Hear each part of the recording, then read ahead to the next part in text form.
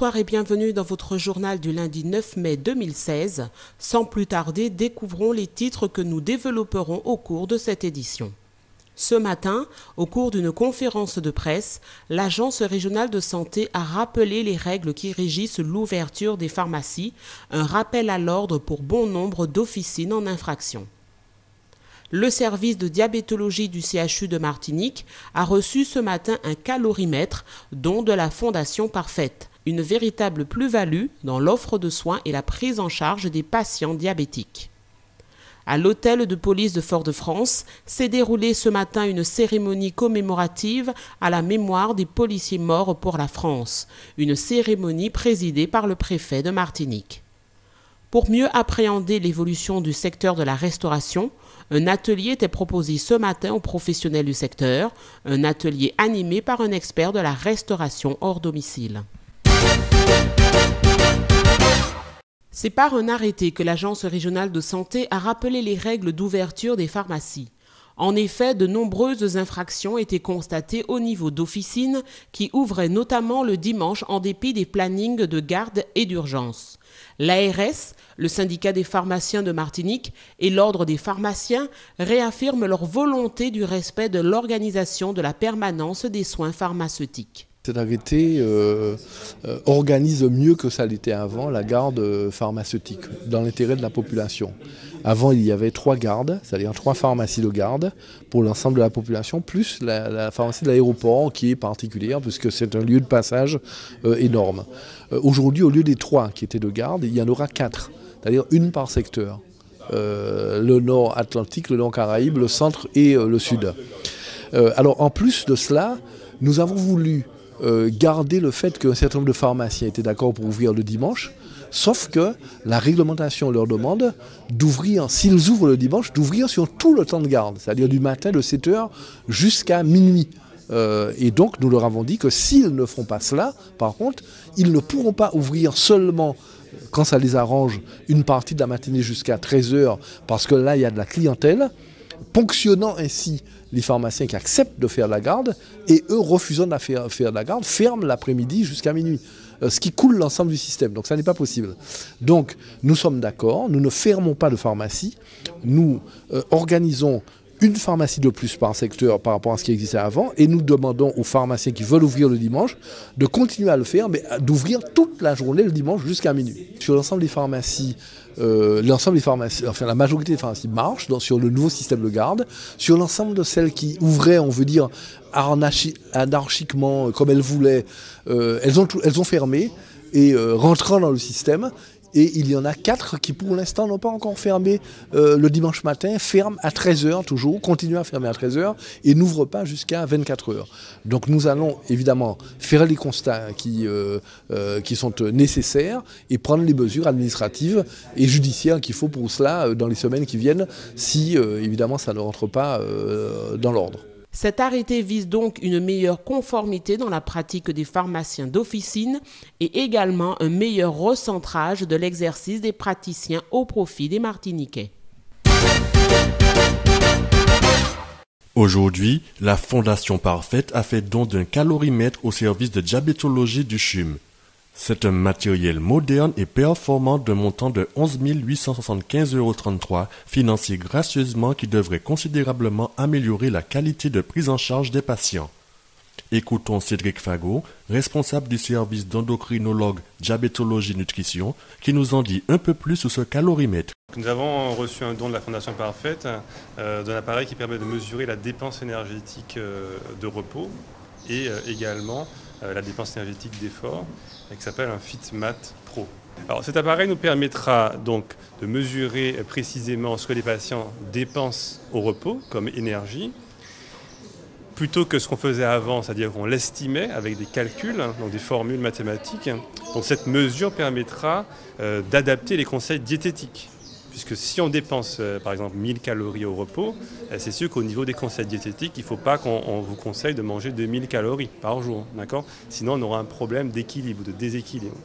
Donc l'appareil permettra euh, d'adapter, d'individualiser les conseils diététiques, premièrement. Deuxième chose, c'est qu'il nous permettra de mesurer la consommation en oxygène que les personnes ont à l'effort.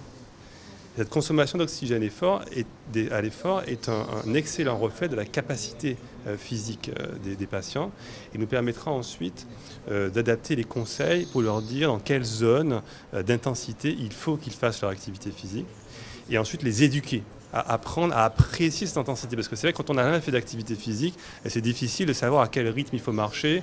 Est-ce qu'il faut marcher sur une pente, en descente? Est-ce qu'il faut courir? Etc. Donc tout ça sont des conseils qu'on va donner et qu'on va pouvoir individualiser grâce à cet outil. Monsieur Robert Parfait, président de la Fondation Parfait, nous donne les raisons de ce don au CHUM.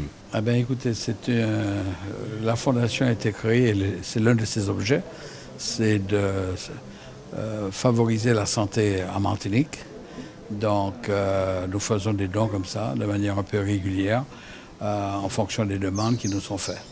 Notre but, c'est effectivement, ayant constaté la dégradation de la santé aux Antilles depuis une vingtaine d'années, c'est de pouvoir permettre par le privé, puisque les fonds d'État ne sont, pas disponibles, de permettre par le privé de voir ce qu'on peut apporter comme aide, même si minime soit-elle, pour pouvoir améliorer euh, la santé ici. Ça a été un concours de circonstances. Le docteur Fagou m'a parlé euh, d'un projet qu'il avait. Euh, je lui ai dit, bon, ben, au contraire, ça peut nous intéresser. Puis de là, on a avancé, mais ça fait déjà 5-6 mois que ça a commencé.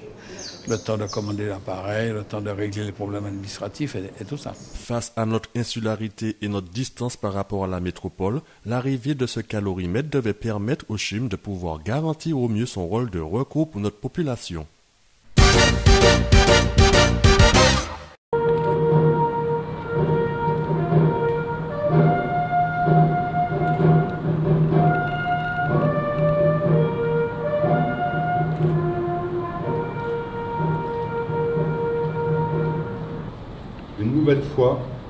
Rassemblés pour nous souvenir, nous souvenir des policiers morts pour la France et pour rendre hommage à leur esprit de sacrifice. Voici les maîtres mots exprimés ce matin par le préfet de la Martinique, Fabrice Rigolet-Rose, qui a présidé la cérémonie commémorative à la mémoire des policiers morts pour la France dans la cour de l'hôtel de police de Fort-de-France.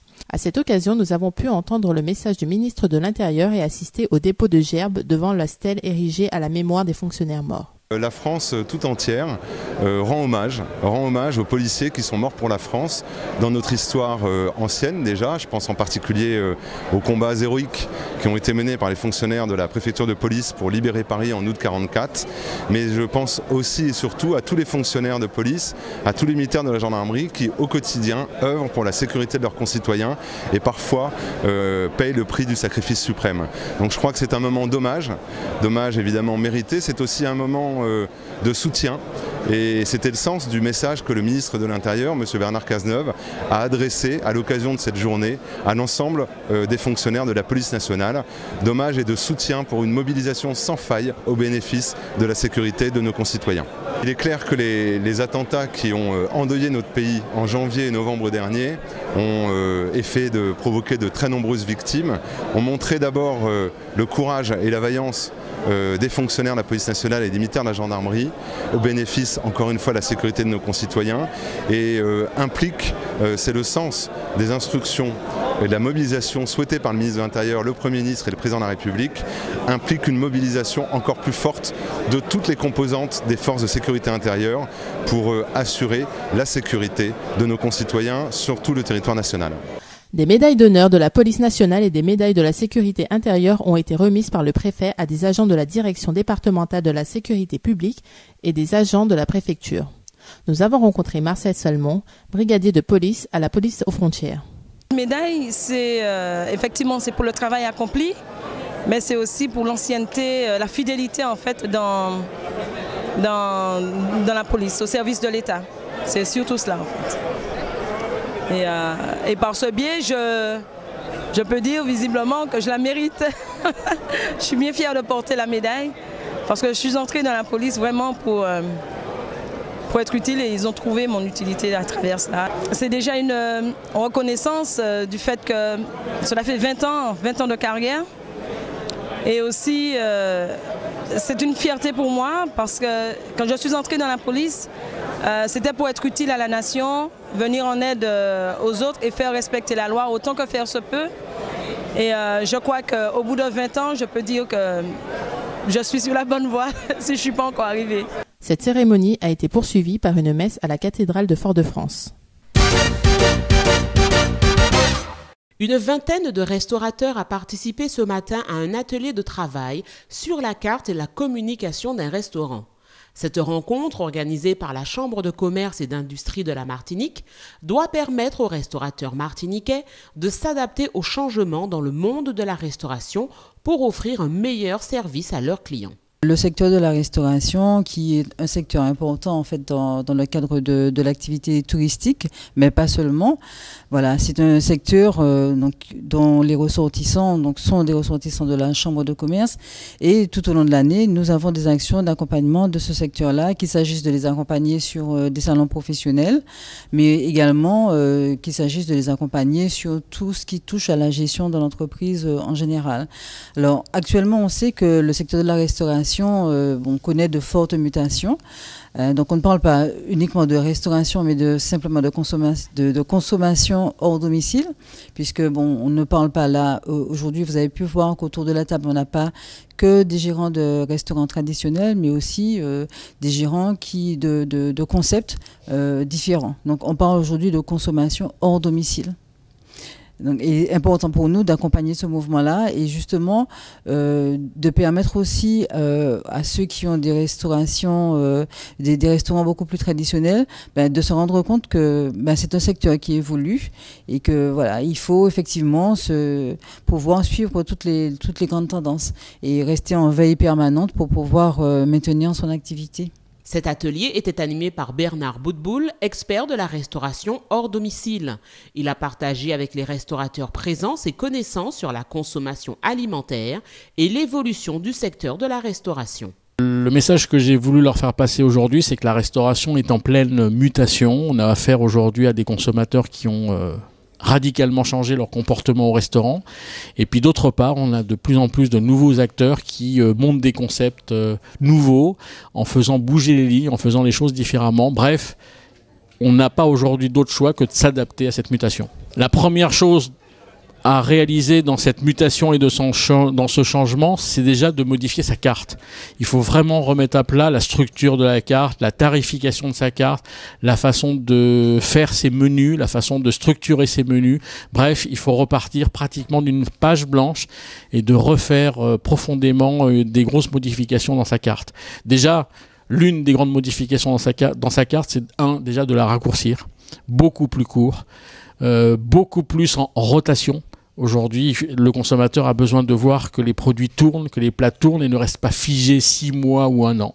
Bref, euh, première action déjà, la raccourcir très sérieusement.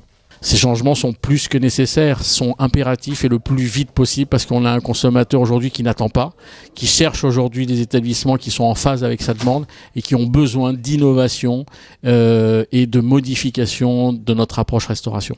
Nombreux sont les Martiniquais qui rêvent d'ouvrir un restaurant ou encore de pérenniser leurs établissements. Toute la semaine à la CCIM, des échanges sont proposés autour des concepts gagnants de la restauration.